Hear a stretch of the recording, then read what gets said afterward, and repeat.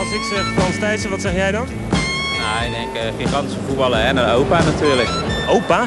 Ja, zo wordt hij hier genoemd. Uh, ik denk op zijn leeftijd moet je een beetje minder goed voorbewegen dan dat hij nu doet natuurlijk. Maar uh, hij bewijst het tegenovergestelde de hele tijd. Vooral op het veld ja, laat hij gewoon zien dat hij als een 18-jarige voetballer nog loopt te voetballen. Dat is gewoon grandioos. Ja, ik ben blij dat hij nog speelt, anders was ik trouwens. Dus uh, er is nog eentje die nog over is dan ik.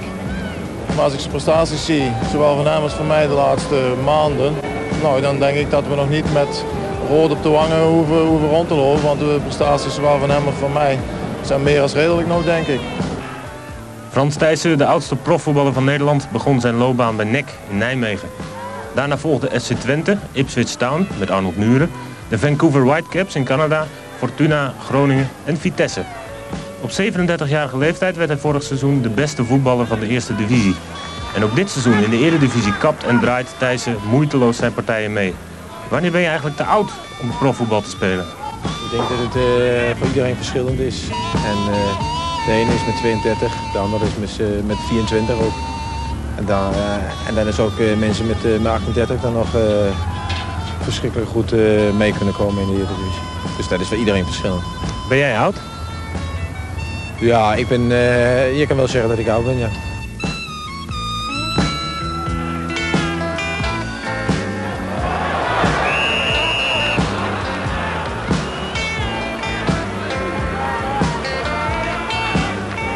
Als jouw ploeggenoten het over jou hebben, dan noemen ze jou opa. Hoe zit dat? Ja, dat klopt, uh, dat klopt wel. Uh, ja, dat heb natuurlijk te maken van uh, ja, uh, oudste speler, 38 jaar, dan krijg je vaak uh, van dat soort geintjes. En kijk, daar zit ik op, op zich natuurlijk niet mee. Ik probeer gewoon in het veld zo goed mogelijk te presteren. Maar ik kan, ja, ik kan dat, dat soort opmerkingen kan ik, kan ik wel tegen, ja. Als we even teruggaan naar jouw debuut, Frans. Kan je dat nog herinneren?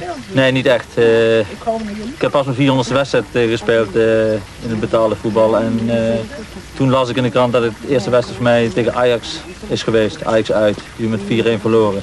Dus zodoende, zodoende weet ik het, anders had ik het echt niet meer, niet meer geweten. Kan je er helemaal niets meer van herinneren? Nee, ik heb wat dat betreft een heel slecht geheugen. Dus die jonge dames die naast me zitten, die hebben misschien wat dat betreft ja. een stuk beter. Maar op zich, ik kan heel weinig herinneren van, ook vanuit mijn jeugd vroeger in de voetballerij. Want mensen die me van vroeger kennen, die zeggen wel vaak van... Uh, toen was je ook al erg goed aan het kappen en draaien, zat er toen al een beetje in. Maar dat soort dingen, dat kan ik me echt niks meer van herinneren. Frans Thijssen speelde in zijn lange, lange loopbaan 14 keer in het Nederlands elftal. Bij zijn laatste club Vitesse heeft hij het enorm naar zijn zin. Als jeugdtrainer tekende hij een contract tot de zomer van 1994. De trainer Thijssen blijft dus in Arnhem. Maar hoe zit het met de speler? Volgend jaar, ja. bedoel, het is voor mij op korte termijn kijken. En uh, kijk, de ene dag uh, ben ik positief en zeg van ja, kan nog makkelijk en uh, gaat nog lekker. En de andere dag, zeker als je dan praat over een na-nederlaag, dan, ja, dan ben je wat minder opgewekt. En dan zeg je van ja, ik weet het niet. Dan begin je weer te twijfelen. Maar kijk, wat voor mij het belangrijkste is dat ik er zelf plezier in heb. En de omgeving je spel nog waardeert. Ik denk daarom, dat je daarom nog, nog probeert door te gaan. En, of dat nog zes, zeven wedstrijden is, we spelen nog in ieder geval een zes competitie en een bekerwedstrijd. Dus of het daarbij stopt, ja, dat uh, kan op dit moment... Uh, er was nog iets dan.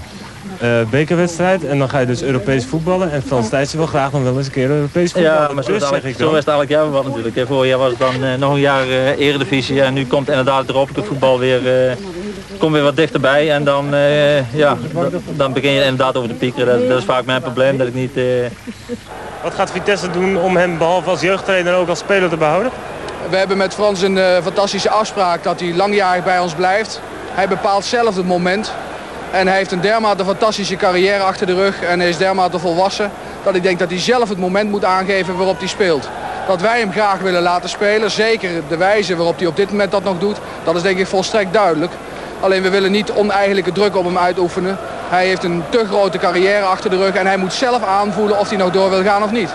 Wat ons betreft, ja, liever we nog een heel seizoen erbij, ja. Doorgaan nog een jaartje, dames? Doorgaan. Doorgaan. Doorgaan. Komt voetbal. Als u aan de